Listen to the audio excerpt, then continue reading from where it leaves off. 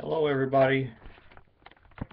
This is going to be a tapping uh, session uh, directed toward change. So we're going to start with the karate chop point, then we're going to work from the top down, and hopefully we'll do two rounds. So even though I hate change, I totally love and accept myself. Change can be scary. Change can be good. From tricycle to bicycle, from bicycle to automobile, like black and white to color, like color to high definition. Yes, change can be good.